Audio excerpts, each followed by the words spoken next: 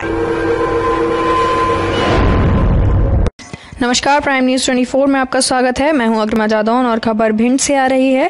भिंड मध्य प्रदेश के उपचुनाव की प्रशासन की पूर्ण तैयारियाँ, पीठासीन अधिकारी ईवीएम वीवीपैट मशीन चुनावी सामग्री लेकर हुए रवाना जानकारी अनुसार मध्य प्रदेश में 28 विधानसभा सीटों का चुनाव करने के लिए चुनाव आयोग ने पूर्ण तैयारियाँ कर ली हैं। आज भिंड ज़िले के दो विधानसभा, गोहद, महगांव में आज जिला प्रशासन ने तैयारियाँ पूर्ण कर पार्टियों को रवाना किया गया है। शहर में ट्रैफ़िक व्यवस्था न बिगड़े, इसके लिए ट्रैफ़िक की व्यवस्था को बनाने के लिए आज सुबह से ही नगर रक्षा समिति के जवान ट्रैफ़िक प्रभारी के साथ अपना मोर्चा संभाले हुए देखे गए हैं। ट्रैफ़िक प्रभारी Ranjit Singh, Sikarwar, सवेदार Aditya Mishra, sub inspector Gauri Shankar Yadav, police जवानों के साथ ट्रैफ़िक व्यवस्था को दुरुस्त करते देखे गए।